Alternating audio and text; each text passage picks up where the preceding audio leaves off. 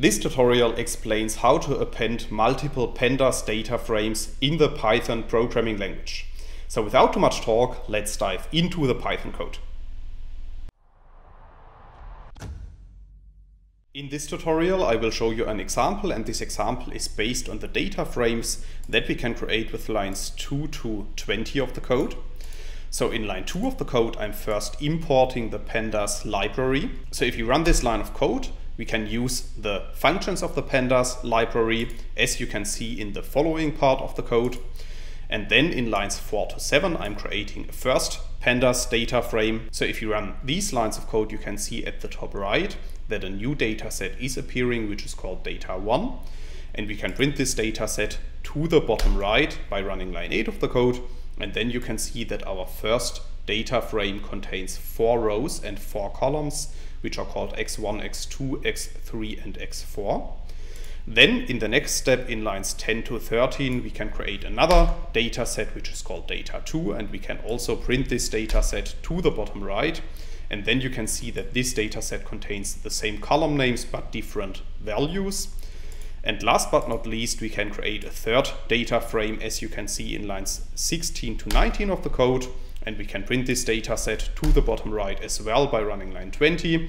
And then you can see that once again, this data set contains the columns x1, x2, x3, and x4, but different values than the other two data frames.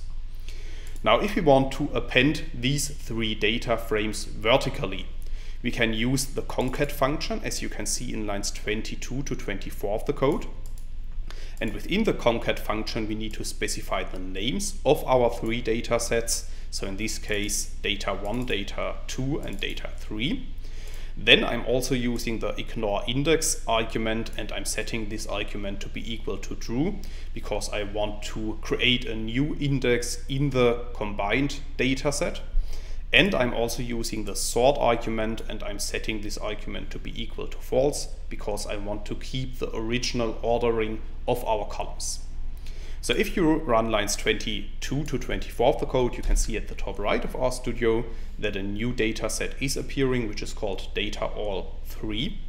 And we can print this data set to the bottom right by running line 25. And then you can see that we have created a new data frame, which contains all the values of our three input data frames, data 1, data 2, and data 3. That's all I wanted to explain in this video. In case you want to learn more on this topic, you may check out my homepage, statisticsglobe.com, because on my homepage I have recently published a tutorial in which I'm explaining the content of this video in some more detail. I will put a link to this tutorial into the description of the video so you can find it there. If you have liked this video or if you have any questions, let me know in the comments section below. I'll try to respond to all comments as soon as I can. Furthermore, make sure to subscribe to my YouTube channel to get notified about future video releases.